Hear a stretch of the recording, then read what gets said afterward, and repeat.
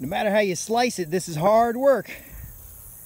So we took the flail mower over top of the, the old tomatoes, including the wooden posts, chops most of them up. We took the flail mower over some pepper beds, did a good job. Did the flail, actually the bottom was done by a tractor with a uh, bush hog. Did the flail mower up in here. Now flail mower works great on level land. Oh, by the way, I'm Justin Hitt with Prosperity Homestead. We're doing this uh, demonstration garden here at the Sustainable Homestead Institute. And essentially what we're doing is we're mowing down the fall, or actually the, the previous crop, which also included grass and hairy vetch and other stuff. We're keeping the wildflowers. Look at these wildflowers. These things are beautiful. Keeping the wildflowers. And there's cut flowers in those beds there. We're going to wait till the tops die before we flail mow those. And that patch over there has got cut flowers too. But what we're doing is we're getting all the biomass off the top and the flail mower chops it up. Now the flail mower chops it real fine like that. But the bush hog, which I'm not gonna walk down there, the bush hog chops it up pretty good too. But we're gonna till out much wider and more level beds, sort of like terraces. And you know, you learn stuff from this. You can watch a lot of videos, but you don't really learn anything until you actually do something, until you get out here and give it a try. Uh, you know, because these beds are great, but the flail mower really only works on level surfaces. You know, it'll go up and down these hills, but it'll it'll cut like butter on level surfaces. Now we were scything this, and scything works okay. Uh, scything was uh, something that, it's fine. It, it doesn't hurt anything. It cuts a long grass. That long grass can be used as mulch. And you'll see this bed here had been scythed a couple times and uh, mulched, and it, and it, looks about as shallow as the grass. See, that bed up there had not been uh, scythed. So you see how much taller it is? When you scythe it, you're able to take down the a lot of the biomass and use it as mulch. But down over here is the bed into season with the flail mower. Now I moved the flail mower up to four inches because these are raised beds and it's bobbing around and it's getting, it's really just wearing my ass out. Um, but ultimately, some of these beds are actually soft enough now that the uh, the flail mower can get stuck too. So I'm not cutting it like you would a, a um, market garden because that flail mower on the BCS tractor will go down to about a half an inch. And I've got the anti-scalp bar on it. But the thing of it is, the anti-scalp bar is like a, a big cylinder, plastic cylinder, and you could, it makes you slide around here. So the key here is um, we're gonna adapt these terraces to be more level instead of having that water channel in the back, which was useful, we're gonna make it more level.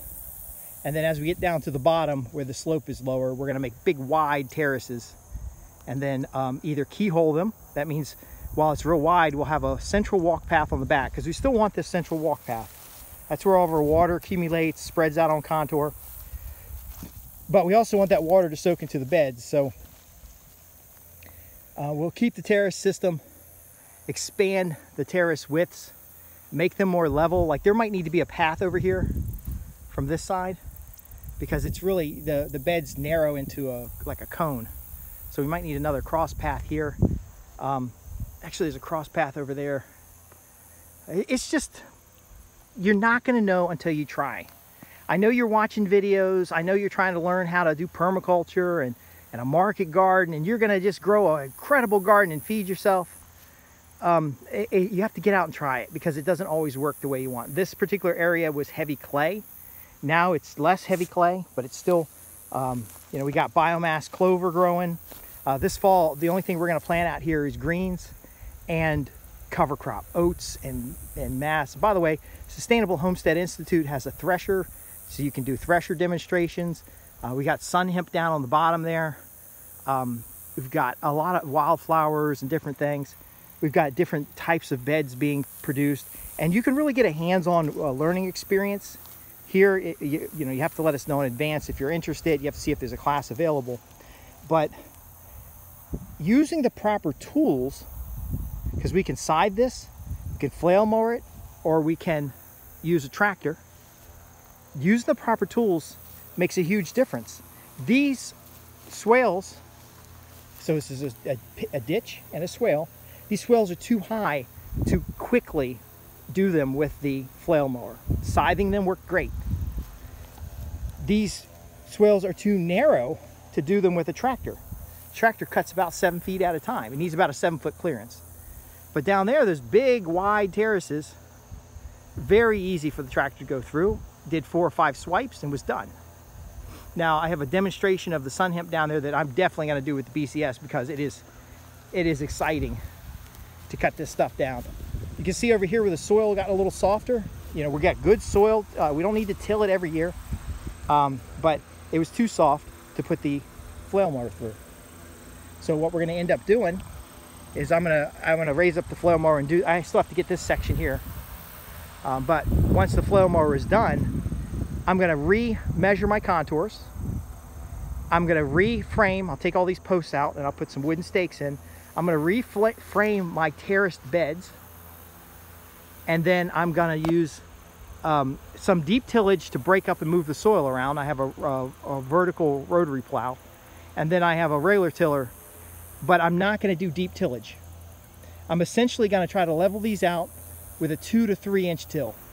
So all I wanna do is mix up the organic material on the top of the beds. Now there's a bunch of manure from the cows that we're just gonna sling on the beds.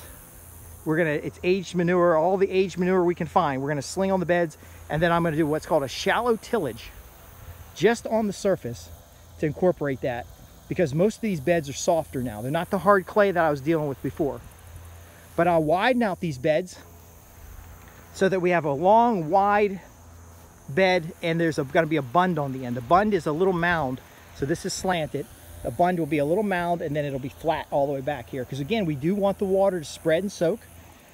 With as dry as it's been this year in 2020, you're not going to get this kind of biomass growing if you don't have good water soakage. We're not out here irrigating. We did irrigate a few things, but most of the stuff is not irrigated.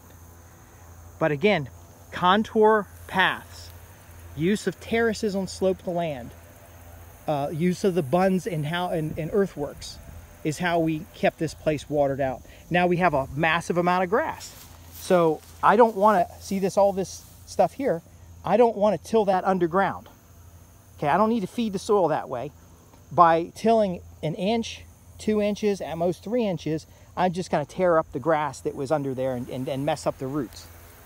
And I'll just go through it nice and quick, loosen up the soil around where we need to go, get the beds laid out. Now, once the beds are laid out, here's the exciting part.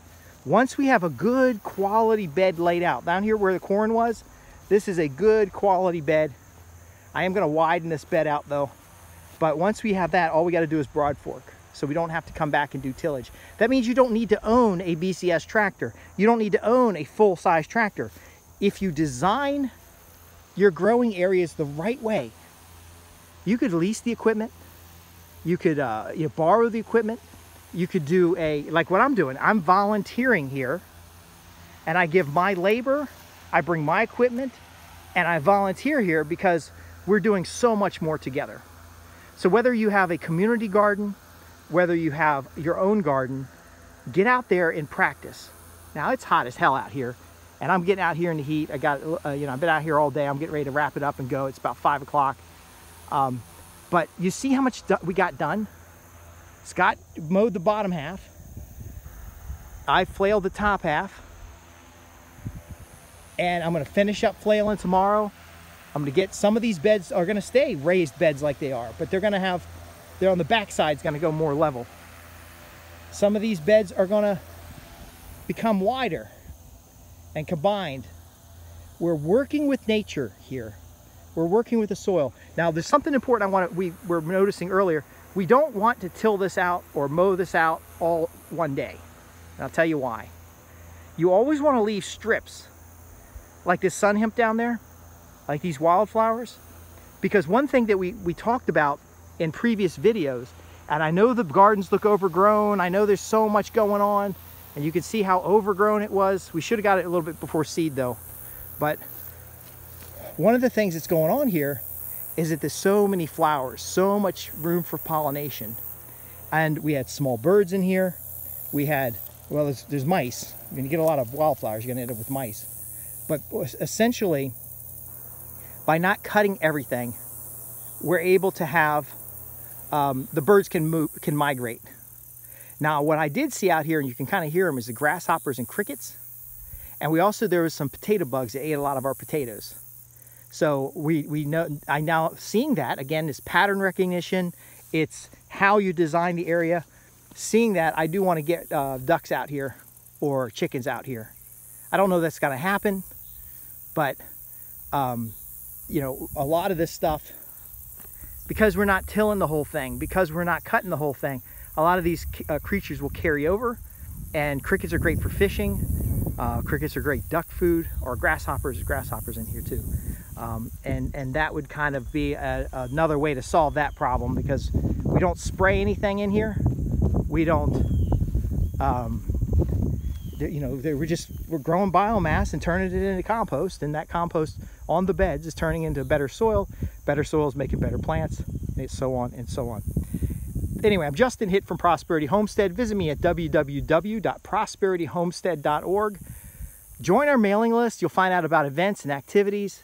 Um, and uh, if you have any questions about what I'm doing here or why some things are designed a certain way, um, you know, I'm, I would love to hear that in the comments below. Thanks for watching.